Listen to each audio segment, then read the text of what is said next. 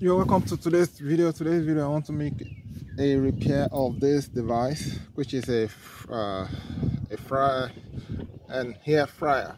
Yes, this device is not working properly. This is how it's behaving as it is right now. You turn it on, yes, it's plugged, and it goes to this mode, and you press, press, press, and it's not working. The problem is that this plastic is broken eight this plastic is somewhere here right inside up there it's broken due to the design. Uh, this hedge push this the, this plastic up to activate the switch that is right here but it's broken. I hope to solve the problem using these that i bought from uh, home depot and we add up of this. If you want to repair repair this. You take off the top cover by just snapping it up. You see this clip? Is held around with clips. And after that you take your screwdriver. One two three four. After loosening those four take out the tray let's put that inside there. Then with this be careful unplug from the wall okay? We have this plastic to take care to take care of and you see that inside there we need to take care of it. It's connected to this section. So let me carefully carefully carefully remove the clip oh I got a big end ah, okay is out of the way. Once that is out of the way find a way to pin it down and then it's all the the old top cover is held down with clips after removing those screw. So i'm going to use my leg to hold it down and then uh, yank it up. You see just like that. Yank it up. See that plastic at the back there? Watch and watch and you see we have it out in one piece. You set that apart. Now I want to make this video very short. What I have to do now is take this out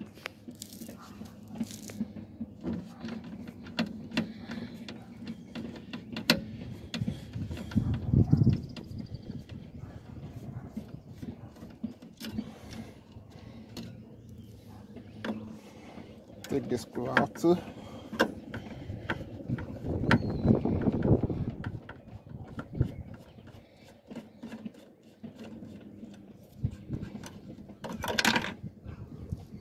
Okay, that's just a plastic cover. And then take this also one, take that one out too.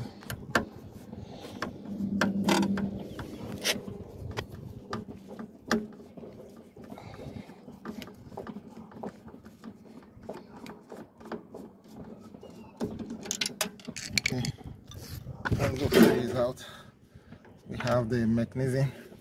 The mechanism is out so I need to take this out. I'll find a way to take it out by I believe I switch it I'll push it forward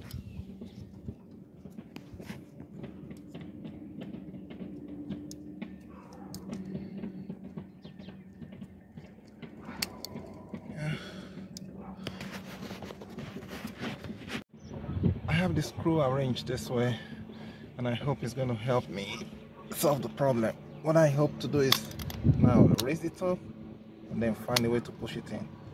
Okay, you can see it's not even free as I want it to be, but right now the switch is permanently turned on, which means every time I need to do any frying thing, it's gonna work.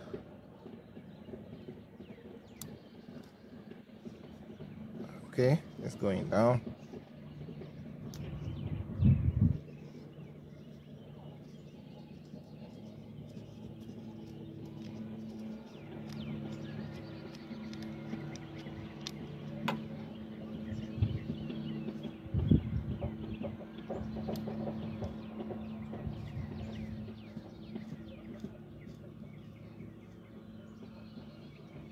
Know what? If I leave it this way when we don't need it on we unplug it from the wall. Well this is not a permanent solution but this is what I got. I believe this is a manufacturer defect of using something that will break with this kind of system. If anybody have a better solution please let us know. But right now this device will work as long as we plug it to wall. So when we don't need it we unplug it. Bye for now. That's my solution. Over and out. I'm ready to test it right now. I just press everything back in place. I've not even put the screw in. I just put it back. Okay let's test it.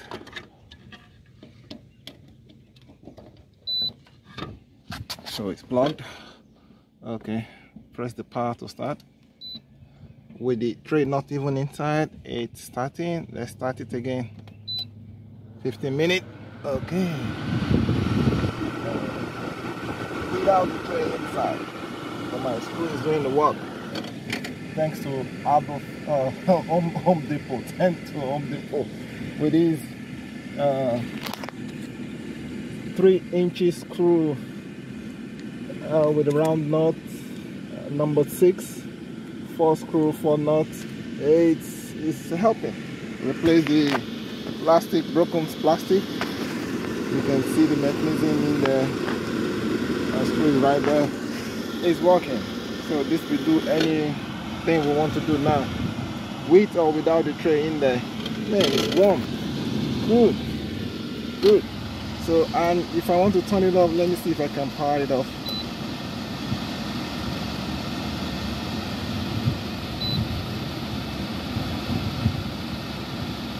fan is still blowing. It's indicating fan looking fan right there. Okay. It's not heating up. Is it okay it's powering down. Fine. I can manually control it anytime. Ooh, good solution. If you don't need it unplug it. That'll be the next way of fixing it. If anybody have a better solution of making it to still work please let us all know. But right now this will work